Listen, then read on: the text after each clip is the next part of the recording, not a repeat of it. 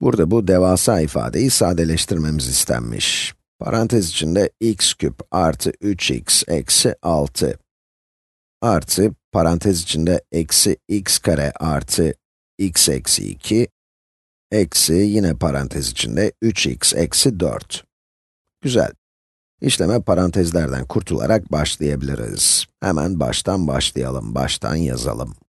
Burada bir x küp var. Yani x küp artı 3x. Bunu pembe yazacağım. Artı 3x. Ve eksi 6. Buraya parantez koymamıza gerek yok çünkü bir şeyi değiştirmiyor. Ve bunları yazmamız veya parantezle ilgili bir şey yazmamız bile gerekmiyor. Bunları kaldırabiliriz. Buradaki işaret artı olduğu için hiçbir şeyi dağıtmamıza falan gerek yok. Artı işaretini dağıtmanın bu sayılara bir etkisi olmuyor. Sonra artı negatif 2x kare. Yani bu negatif 2x kare ya da eksi 2x kare. Ve sonra da artı x var, artı x. Sonra da eksi 2. Sonra da eksi ve tüm bu ifade. Yani bu eksi işaretini dağıtacağız. Yani artı 3x ama eksi 1 ile çarpılıyor. Yani bu aslında eksi 3x.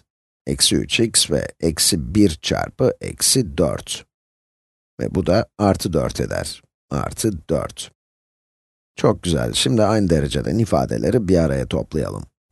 Öncelikle burada bir x küp var ve sanırım bu üçüncü dereceden olan tek terim. Bunu bir yazalım. x küp.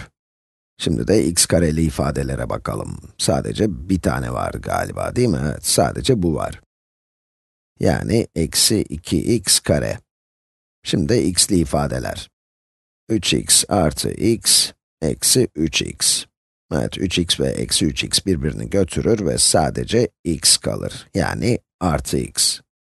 Ve son olarak da sabit terimler. Eksi 6, eksi 2, artı 4. Eksi 6, eksi 2, eksi 8 eder. Artı 4 eşittir eksi 4 ve bitti. Bu ifadeyi sadeleştirdik. Artık sadece 4 ifadeli bir polinomumuz var.